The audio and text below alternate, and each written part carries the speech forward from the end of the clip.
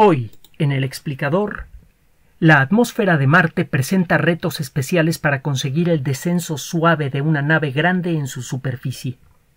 La simulación precisa de este proceso requirió de uno de los esfuerzos computacionales más grandes de la historia. Además, y en exclusiva para nuestros patreones, la extraordinaria capacidad que tienen algunos gusanos de regenerar prácticamente cualquier parte de su cuerpo depende de un complejo sistema de señales moleculares.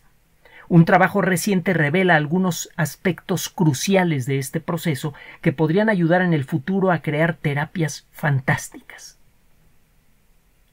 Escuche y descargue nuestros audios en SoundCloud, Patreon, Spotify, iTunes y Amazon Music. Los detalles aparecen en la descripción de este audio.